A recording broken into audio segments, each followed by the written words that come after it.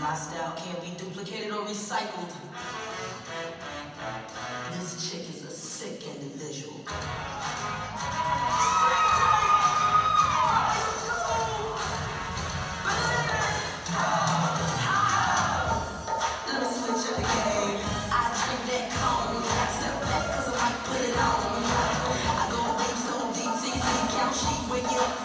Hallelujah.